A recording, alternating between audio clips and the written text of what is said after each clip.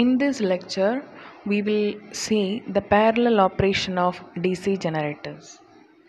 That includes the parallel operation of series generator, shunt generator, and compound generator. And also, we will see what is the need of equalizer bars in DC generators during their parallel operation. Okay, these are the major contents that we will discuss in this video. So, before going to see the parallel operation of these generators, we must aware about the need of parallel operation of DC generators. Okay, here you can see some lists about the need of parallel operation. So, the first one is the continuity of service can provide. We know that continuity is one of the important requirement for the electrical system. If the power plant cons- if the power plant has only one unit or a single unit, then that generator is not able to provide a continuous power during the peak load and during the light load time. So it is necessary more than one generators. So more than one generators are necessary to connect in parallel in order to provide a continuous supply. If any fault occurs in any generator, that can be the fault of a prime mover or any winding problem or any kind of problems may occurs in any one of the generator then if they are if more than one generators are in parallel there the continuity of the supply will not disturb we can provide a continuous supply if any one of the generator get damaged or something like that so it is necessary for the parallel operation of DC generators during the faulty conditions or something like that. So, continuity of the service can provide. The next point is efficiency. The overall, we know that the peak load time is very different and light load time is different.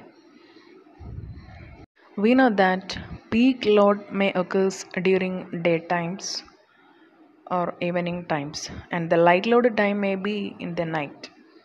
So during these different loads load conditions the entire power plant must be able to provide the required load to the load current to the load.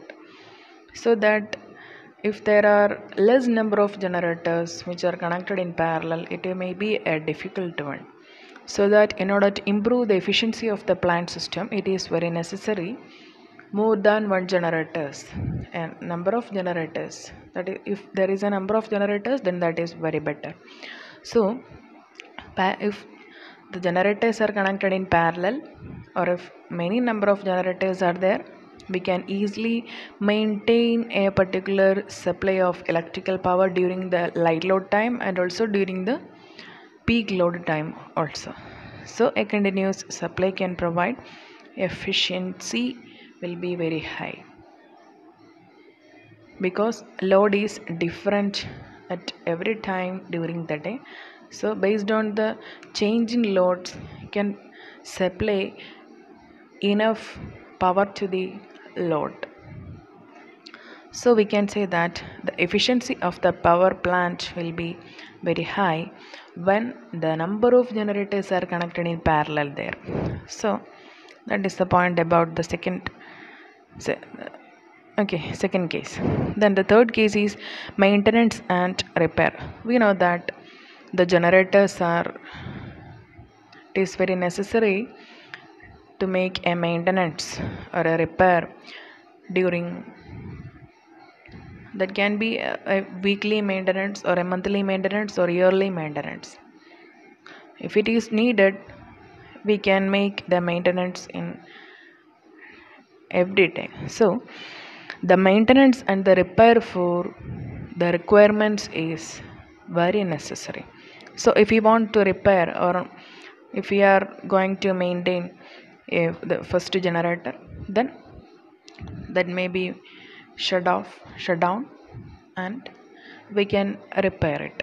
During that time the continuity of the supply can maintained by other generators if they are connected in parallel.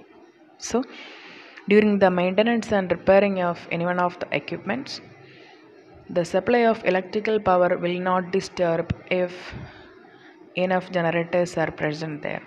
So it is needed the parallel operation of generators. That's all about the third point. and the i listed uh, one point that is addition to the plants. We know that the population is increasing day by day. So it is very necessary to provide sufficient electrical power to the consumers. In order to make it sure that we can provide the electrical supply to the consumers without any disturbance to the existing system we can add many generators in parallel to the existing system so addition of the plant is very important. For that parallel operation is very necessary. So the last point uh, here it is non availability of single large unit. That is a major issue. If we are using a single unit for the entire system already we discussed that if that system get faulty due to any reason then the total plant will get blacked out. In order to avoid such type of situations and by providing the continuous supply of electricity so to make the continuous supply of power we will connect number of small units in parallel. So parallel operation is very needed due to these reasons. Okay i listed few reasons. You will get many reasons if you refer google. Okay. And next we can discuss what are the major conditions that is necessary for the parallel operation of dc generators. Okay. The first point is the generation voltage and no load characteristics must be the same. Okay the generation voltage if we are connecting a number of generators in parallel each generators can have a particular capacity to generate voltage and that capacity of generation voltage of all generators must be same and their no load characteristics must be the same. Okay. And the next point is the polarity must be identical. Okay. If we are connecting the generators to the bus bar the positive polarity of the bus bar must be connected to the positive terminal of the generator and the negative terminal of the generator must be connected to the negative terminal of the bus bar. And if you are connecting these generators in parallel the polarity must be identical. And the third point is the armature resistance may be equal. If the armature resistance are equal then each generators can share the load equally. So it is necessary to make the load sharing equal. The resistance of armature resistance may be identical or that must may be equal. So the next point is the machine must be identical. Machine must be identical means the shunt generator if the shunt generator must be connected in parallel with another shunt generator. We cannot connect a shunt generator in parallel with a compound generator or a series generator. So the, uh, the identity of the generator must be satisfied. So shunt generator must be connected to shunt generator. Means shunt must be parallel with another shunt generator and compound must be shunt with must be parallel with another compound generator and series in the case of series also we can satisfy this condition. So these are the major conditions that must satisfy during the parallel operation. So we can say that the overall operation it is necessary to make the reliability of operation during the peak load time and during the light load time. So parallel operation is needed.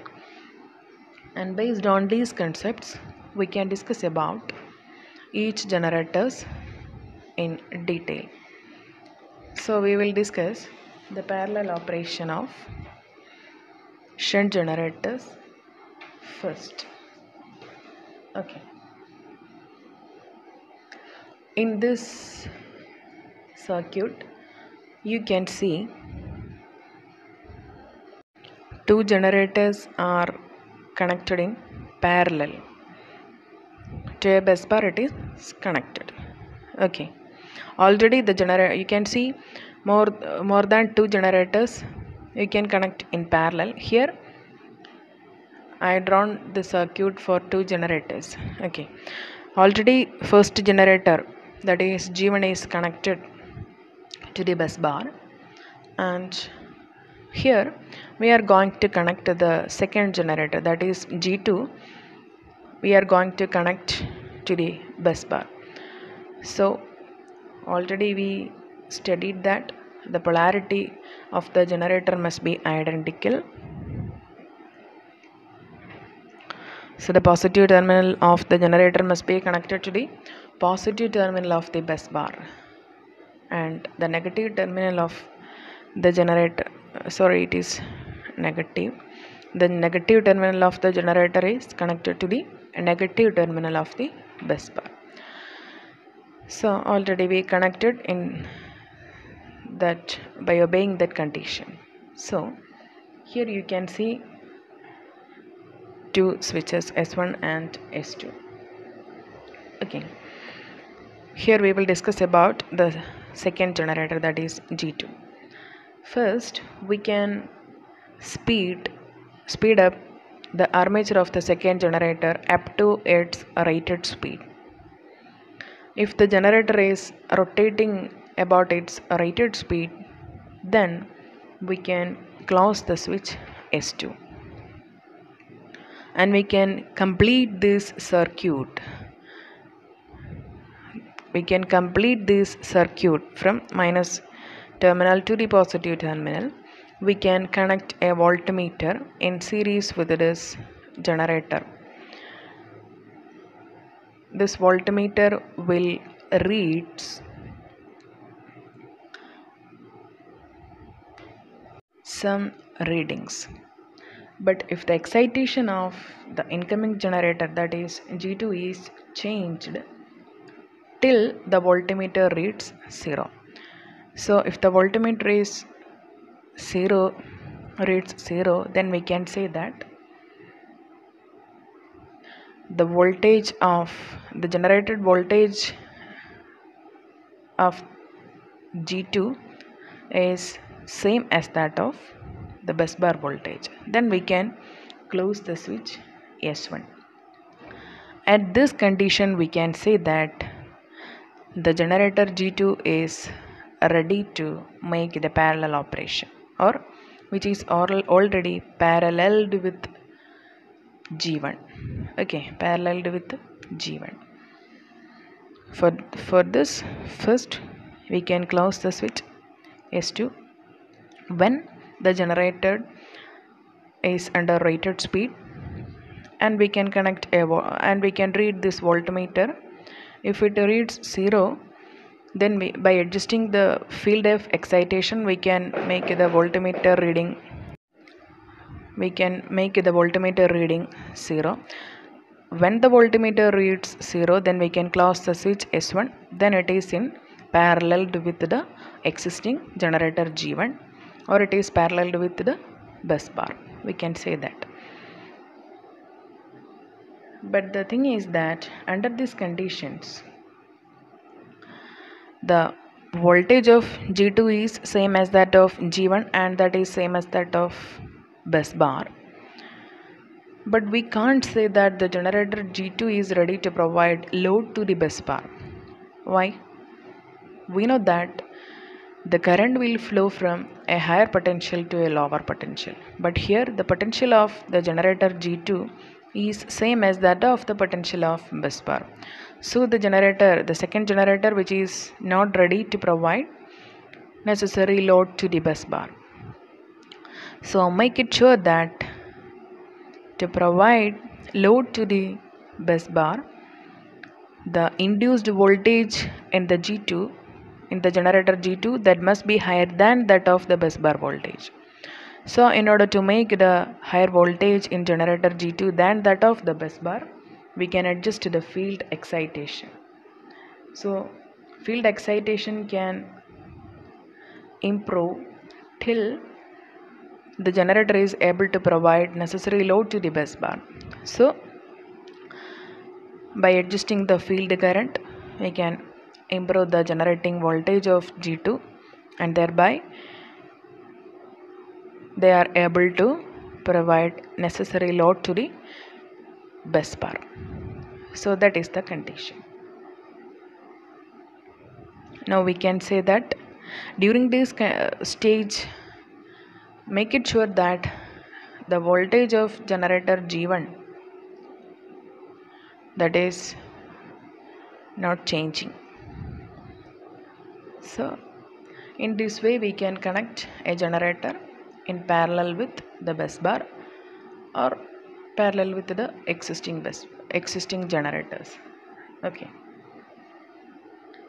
During the parallel operation of shunt generators how we can say that it will share the loads equally? We can consider the case of first generator. In the case of generator g1 what will be the terminal voltage?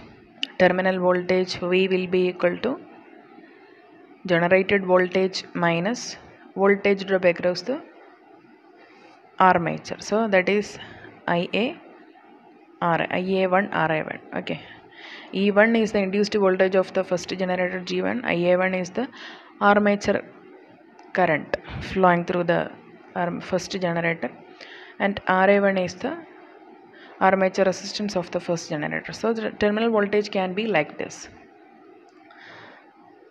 okay. What about the second generator g2 the terminal voltage? We know that the terminal voltage v is same for every generators when they are connected in parallel. So terminal voltage v1 is equal to e2 minus ia2 r a2 okay.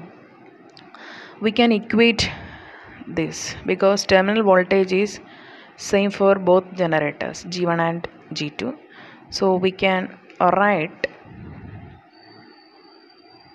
right here E1 minus IA1 RA1 will be equal to E2 minus IA2 R8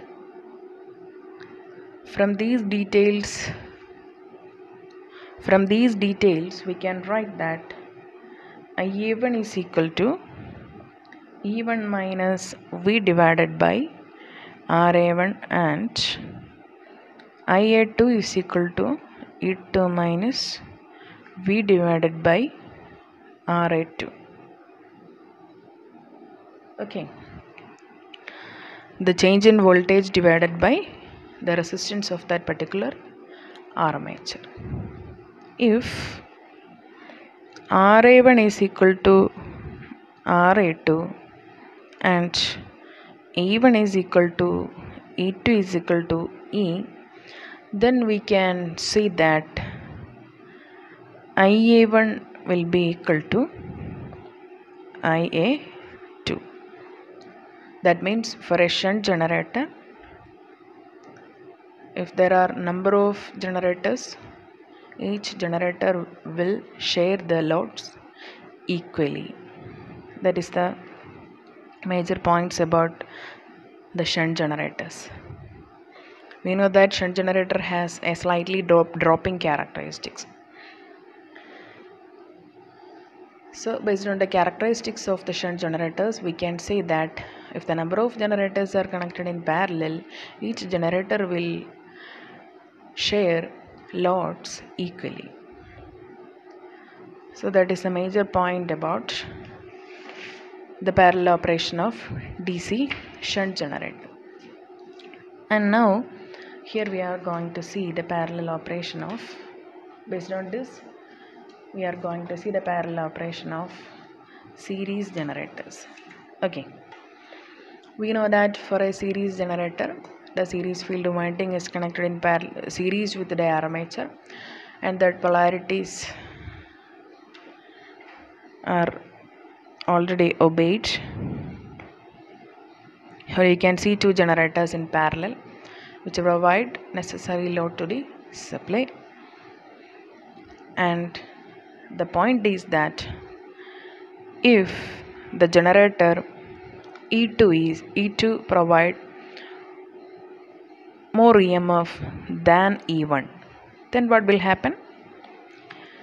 The current through the field winding will increases. In the case of G2 the current will increases than that of the generator G1 and this will lead to increase the flux in the generator G2 and finally again the induced voltage E2 will increase. And additional current will flow through the field winding. And that current will circulate through this region. And at the next time this current again will improve the flux and thereby E2 will increase. During that time during this time the induced voltage at E1 will decrease. So the field current will decrease flux will decrease and finally again the value of E1 will decrease current I1 will decrease and the flux will decrease. This will be a continuous process. And finally we can say that the generator G1 will work as a motor because they are not able to provide necessary load to the bus bar but they will take some loads from the bus bar. So we can say that the E1 will work as a motor at this condition. So in order to solve this problem due to the circulating current E2 will provide full current or full load to the bus bar. So in order to avoid this situation a solution is that we can connect a thick heavy copper bar in we can connect the armatures of two generators with a heavy copper bar. Heavy copper bar is nothing but a conductor or having low resistance path. So let us again discuss about the things if the generator G2 is supplying more current than G1 then what will happen? Current will increases. And that increased current will share to the next generator also through this equalizer bar. This is the equalizer bar. So if the generator is supplying more current if G2 is supplying more current due to higher E2 then that current will some current will partially share to the next generator and the generated current will directly go to this generator through this equalizer bar and the rest current will flow through the series field windings so that the reversal action of the generator G1 can avoid by using this equalizer bars. Okay the equalizer bars are connected at the end portion of the armature. Both the armatures are shunted by this equalizer bars. Okay. So equalizer bars are necessary for the parallel operation of series generators. But in common case the series generators are not suitable for the parallel operation because their rising characteristics. Okay. Now let us discuss about the parallel operation of compound generators. Okay. Here you can see the circuit diagram for the parallel operation of compound generators. Here generator g1 is connected in parallel with g2 and here you can see the equalizer bars that is needed to satisfy the parallel operation of compound generators because the presence of series field winding is there. Because if the generator E2 is having more voltage than the generator G1 then what will happen? The current flowing through the G2 will slightly increases than G1 and this will lead to strength uh, the strengthening of the this series field windings and thereby more current will induce in generator G2 than G1 and that generated current will partially or some part of that current will flow through the armature or the, the series field of the first generator that is G1 so additionally induced or generated armature current will directly flows to the next generator. So that the currents shared by these generators. We can say that the current shared at that time will be equal. So in order to make the proper load sharing equalizer bars are very necessary for compound generators mainly in over compound and level compound generators. For the stable operation over compound and level compound generators are needed generators equalizer bars are needed. But for under compound generators we know that over compound generators level or flat compound generators and under compound generators these are the three categories of compound generators. And in over compound and level compound generators for the parallel operation equalizer bars are necessary because of their rising characteristics. But for under compound generators like shunt generators they do not need equalizer bars because like shunt generators under compound generators have a stable operation and they have a slightly dropping characteristics. So they may share the loads equally. If there are n number of generators they will share their loads equally so that both these generators do not need equalizer bars but others are needed. In, in the case of other generators equalizer bars are very needed for their parallel operation. Otherwise the generator may get damaged. Okay these are the major facts about the parallel operation of generators. Okay thank you